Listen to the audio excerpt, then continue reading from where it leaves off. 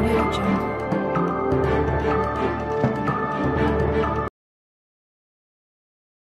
August మూడో తారీఖున republic party of India జాతీయ అధ్యక్షులు శ్రీ రామదాస్ సత్యవాల్ గారు అదేవిధంగా ఆయన ఎన్డీఏ గవర్నమెంట్లో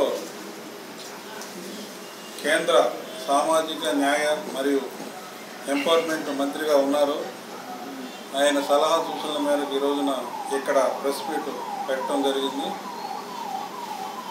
ఆగస్టు మూడో తారీఖున ఆంధ్ర యూనివర్సిటీ క్యాంపస్లో మరి వారు బీసీలకి చట్టసభల్లో రిజర్వేషన్ కొరకు రెండోది స్పెషల్ స్టేటస్ కోసం పోరాటం చేసి ఇప్పుడు స్పెషల్ స్టేటస్ బీసీలకి ఇవ్వడం జరిగింది. అది లోక్సభలో బిల్లు పాస్ అయ్యి ఉంది. రాజ్యసభలో కూడా అది పాస్ అయితే బీసీలకి చట్టసభల్లో స్పెషల్ స్టేటస్ దొరుకు